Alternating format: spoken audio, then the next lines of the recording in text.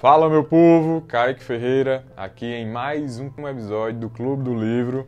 Hoje vamos falar da, da Revolução dos Bichos de George Orwell, um clássico de 1945. Mas antes, não se esqueça, se inscreve no canal, deixa o seu joinha, comenta aí no vídeo se você já leu esse livro que é um clássico atemporal. Foi uma das melhores leituras que eu já fiz. É um livro curto, ele tem pouco mais de 100 páginas, eu acho que 121 páginas. E, gente, eu considero esse livro aqui uma leitura obrigatória para todo mundo. Eu queria ter tido o prazer de ler esse livro na infância, na adolescência e na vida adulta, para saber a diferença dessa questão da perspectiva, porque eu acho que isso teria sido uma experiência bem interessante. Mas, como vocês sabem, quem já está aí me acompanhando no Clube do Livro, eu comecei a leitura depois da vida adulta. Então, se eu conseguir, eu que era o pior estudante da, da escola, vocês também conseguem. Então vamos falar um pouquinho desse livro hoje. Gente, A Revolução dos, dos Bichos é um livro incrível, curto, leitura prazerosa, simples. É uma, uma crítica ao sistema comunista da União Soviética, a Revolução Russa. Toda a trama se passa numa fazenda onde personagens eles são substituídos por animais. Então temos o Napoleão, que é o porco, um cara ali muito inteligente, muito malicioso. Toda a trama do livro se passa nessa fazenda, onde se traz assuntos como corrupção, questão da manipulação da informação, a manipulação de opinião. Falando um pouquinho da introdução do livro, temos a fazenda do Sr. Jones, que é o humano que comanda a fazenda, e os animais fazem uma revolução, onde eles dominam a fazenda com o intuito de deixar tudo mais igualitário, liberdade.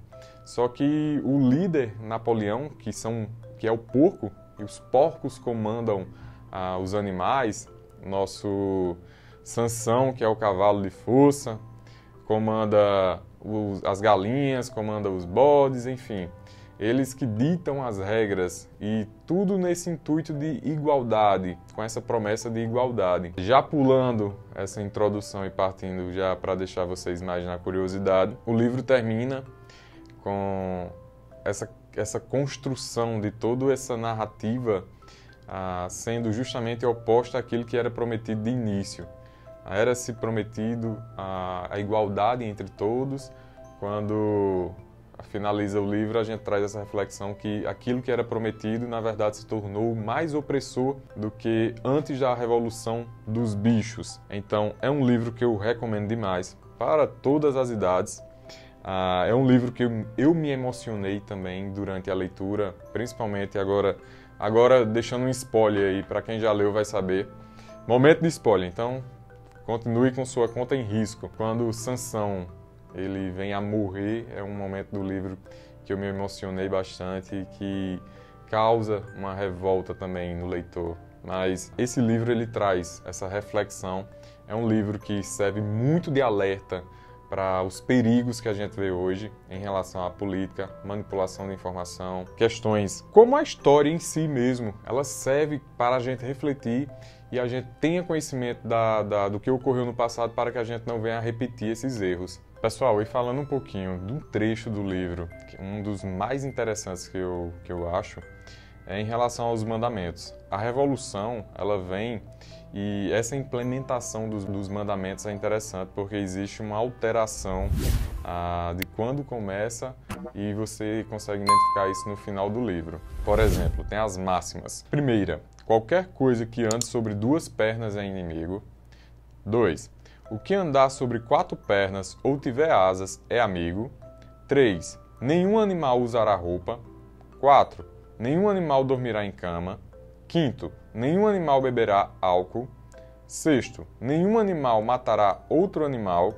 7. Todos os animais são iguais. Com o decorrer da história, que a gente vê Napoleão fazendo as articulações, as suas malva malvadezas, não, é uma palavra muito muito muito leve para o que Napoleão faz, fazendo suas crueldades. Ah, no final a gente vê as modificações. A primeira lei continua: qualquer coisa que ande sobre duas pernas é inimigo, qualquer coisa que ande sobre quatro pernas ou tem asas é amigo.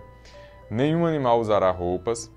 4. Nenhum animal dormirá em cama com lençóis. Existe essa, essa diferença. Por exemplo, Napoleão, durante o livro, ele faz essas modificações na lei para que ele possa utilizar daquilo que os humanos utilizam. Por exemplo, era proibido dormir em camas. Aí ele faz a modificação na lei, é proibido dormir em camas com lençóis. Ah, é proibido beber álcool, por exemplo. Beber álcool em excesso, porque esses mandamentos ficavam expostos na parede do celeiro.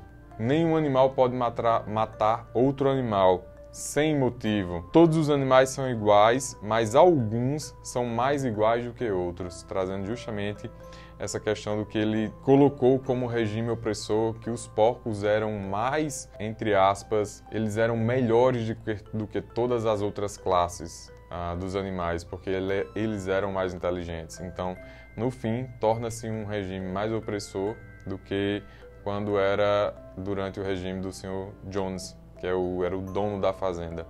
Então, finalizando por aqui, eu espero que eu tenha causado curiosidade em vocês de lerem esse livro, que é uma, uma obra de arte. Uh, temos também outro livro de George Orwell, que é de mil, 1984. Esse é um pouco mais denso, é um livro maior, mas que eu também vou trazer aqui para comentar um pouquinho ele com vocês. Por favor, não deixem de ler esse livro, A Revolução dos Bichos, de George Orwell. Não se esqueça, se inscreva no canal, deixe o seu joinha. Eu espero que esse projeto continue, que você possa deixar aí uh, seu comentário para que a gente possa interagir. E me diz sua opinião sobre esse livro também. Uh, é um livro incrível, minha nota dele, minha nota para ele é 10 de 10. Então, muitíssimo obrigado. A gente se vê na próxima segunda-feira com outro livro. E deixa também aí embaixo a indicação de livros para a gente trazer aqui para a gente discutir, beleza? Muitíssimo obrigado. Até a próxima.